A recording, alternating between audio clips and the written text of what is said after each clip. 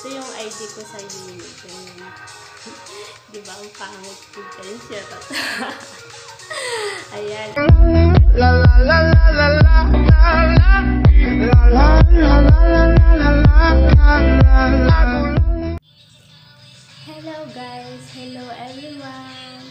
My YouTube channel is Tax Vlog. Ngayon, ang topic natin ay paano kumuha ng UMID ID sa SSS. Ayan. Kasi, yung June, kumuha ako ng ano ng UMID ID sa SSS. Ayan. Sishare ko sa inyo kung paano kumuha ng UMID ID. Step 1. Ayan.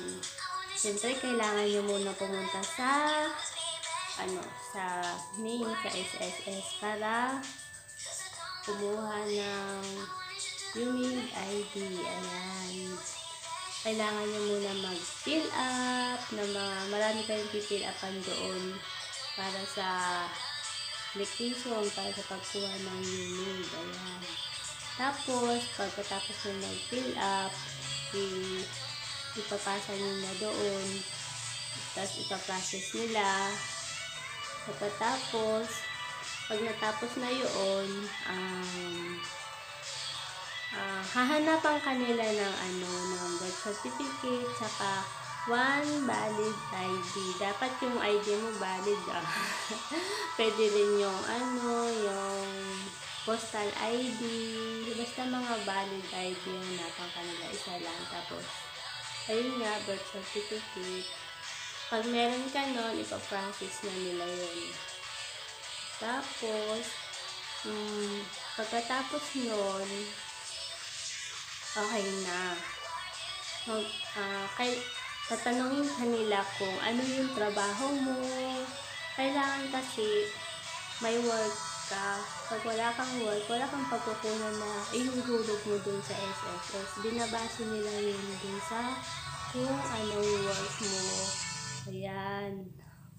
Tapos, ako kasi, um, dito sa bahay, pero may income pa rin ganun. Kaya, yung iba, ah, inu inungulog ko na doon. Ayan.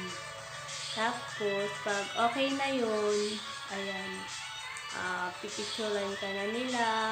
Tapos, um, ayun, pipicturean ka nila. Tapos, okay na. Tapos, um, pag okay na yun, kailangan mo na magbayad sa cashier ng kung magkano yung ano, kung magkano yung monthly mo sa naihulog, kailangan mo magpauna ng bayad ganun. Tapos, ako kasi, um, for 5 months, June, July, August, September, October, hanggang October yung ah, expiration ng pagbabayad ko sa ano, sa yung SSS ko. Kailangan kong bayaran yung 5 months na yun para ah, tuloy-tuloy yung paghulog ko. Ayan.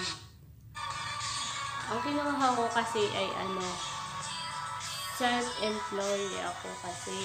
Ayan.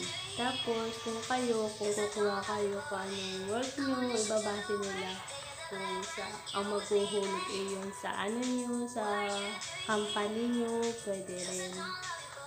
At 480 monthly ko. Ayun. Ayun guys. Tapos, pagdating naman sa pagkuha ng ID, maghihintay ka ng 2 to 3 months na ano, na paghihintay para ipadala sa iyo yung ID mo. Ayan. Ito pala yung ID ko guys. Ayan. Ito yung ID ko sa unit. Ayan. Di ba? Ang pangit siya. ayan, ayan yung aking ID.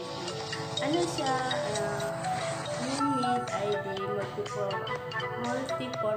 Na siya. Multi-purpose na. Kumbaga, hindi siya expired. Siyempre, nagbabayad na ako monthly. Yung, yung mga resibo ko na binabayaran ko monthly, tinatabi ko yun. tinatabi ko para may katibayan ako, ba? Tapos pag okay na yung ano mo, okay na yung sa SS mo, okay na lahat, approve ka na ni sa SS na yun, bibigyan ka nila ng paper na ano, application, ano ano yan, katibayan na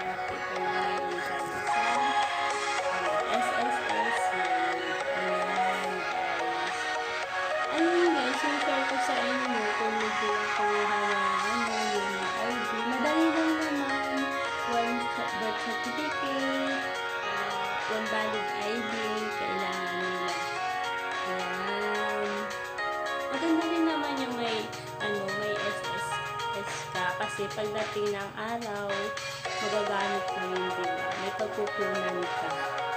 Kaya, ako nga pang bata pa ako, kumukuha na, kumuha na ako ng ano, na SSS ko.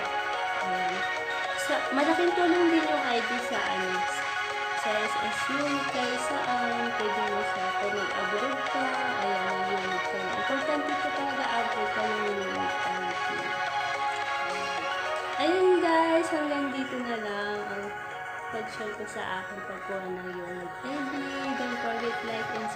to my channel para susunod ko pa mga video.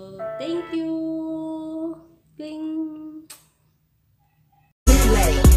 That's what they call me. I promise that you'll never be lonely. Peter Pan, that's what they call me. I promise that you'll never be lonely.